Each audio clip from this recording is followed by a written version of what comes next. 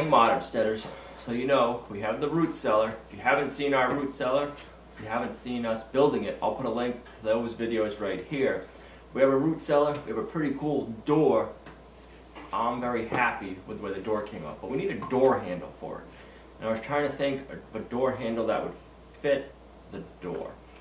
The branch style door handles that I make, I don't think are going to be rugged enough. So I'm like, I need kind of like an old metal door pull. Where can I get one? Well, I don't want to get one. I want to make one. How can I make one?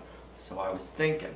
I went to the store the other day. I got some half inch rod and I got a wood stove that we can crank up and get going pretty good. So stay with me here for a minute. I think we can use the wood stove as our forge and we can hand forge our own door pulls.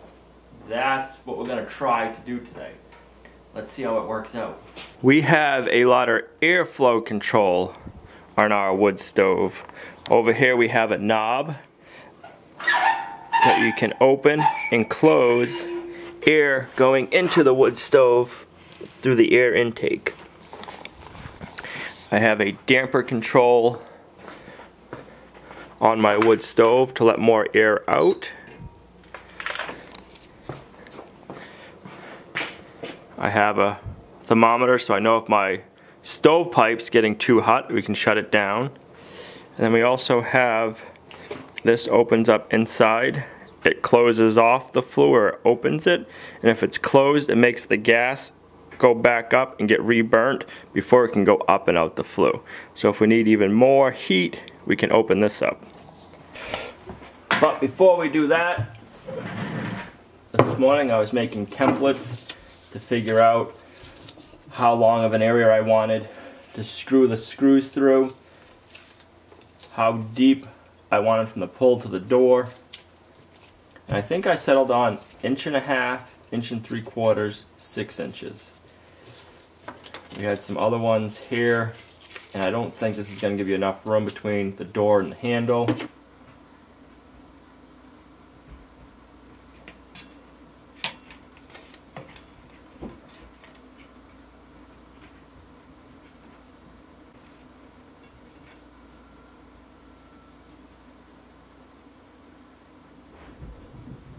Take my three-sided file and make a mark.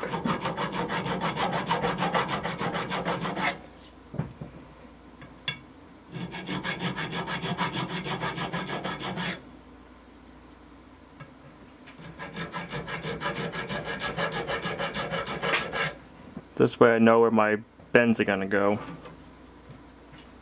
The Sharpie mark will get burnt off in the fire.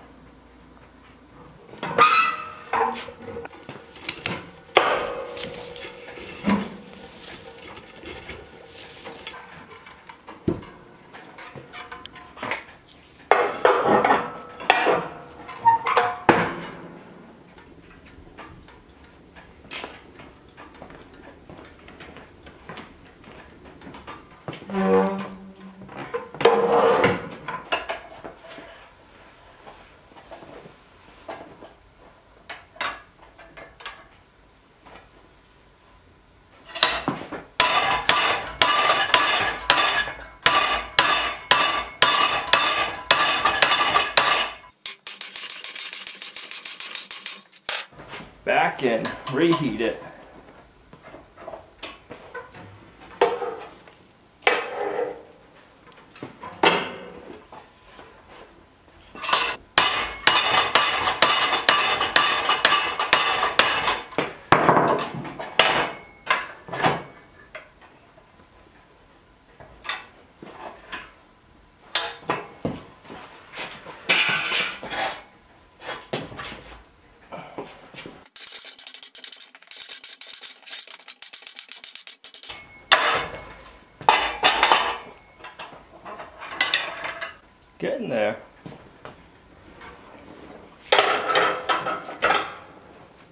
I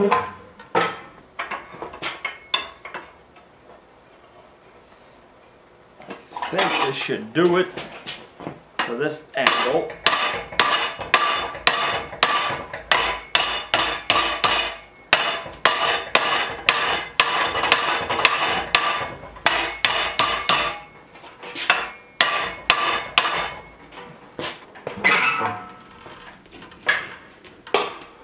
Thank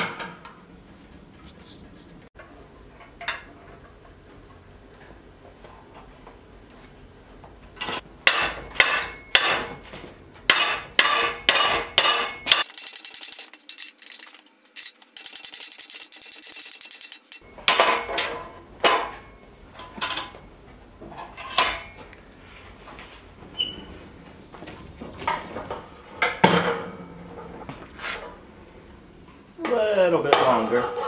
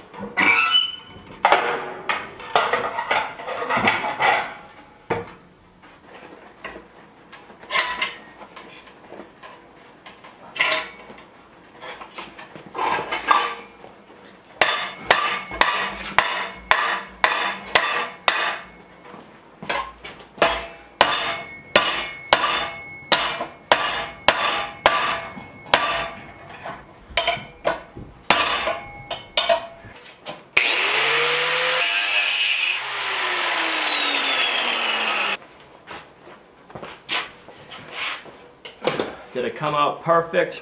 No. I'm sure I could have bought a lot nicer one. But then again, I wouldn't have a story to go with it.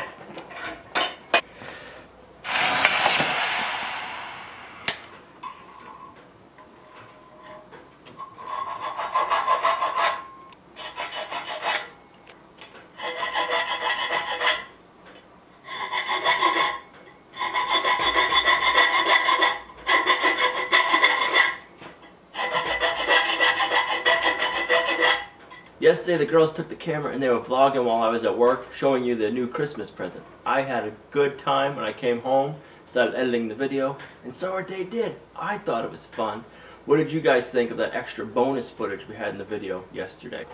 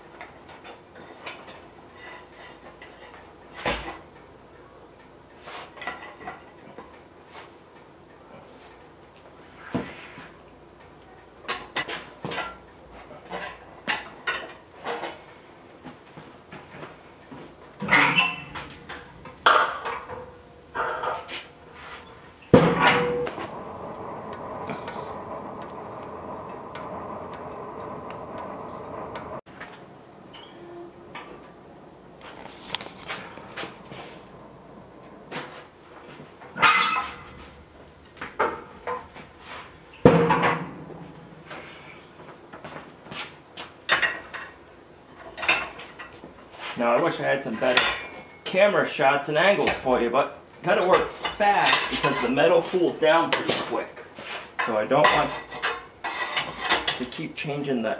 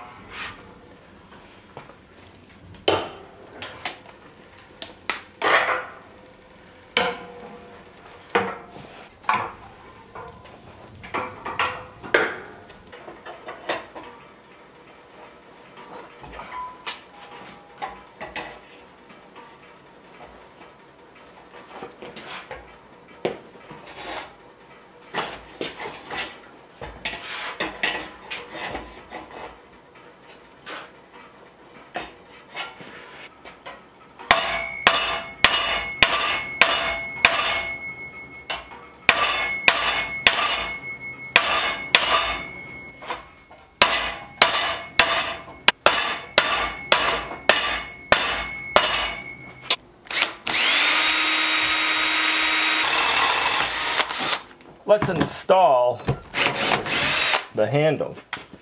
I didn't think of getting any, but I needed some screws that had a flat head on the back. This is all I have at the house. So it's not going to look the best right now, but we'll replace them later on. But we'll have a screw that we can use.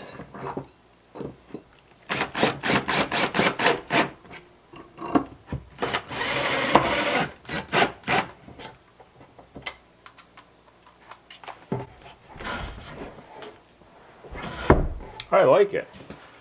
I'll have to replace the screws.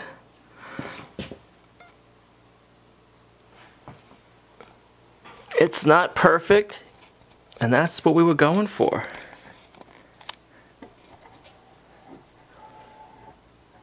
It's got a nice patina to it. We won't have to put any finishes on it. It'll be perfect the way it is.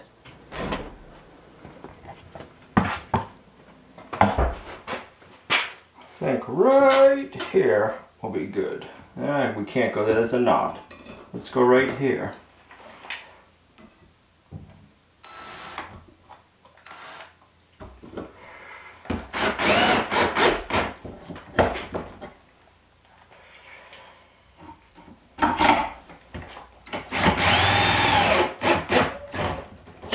Perfect. Temperature is 36.5. It was 32 in here this morning. I opened the door for about five minutes and let it warm up. I'm gonna have to block off the vents on the outside with a, some foam when it gets really cold like this. You can see the frost on the pipes even with the vents closed.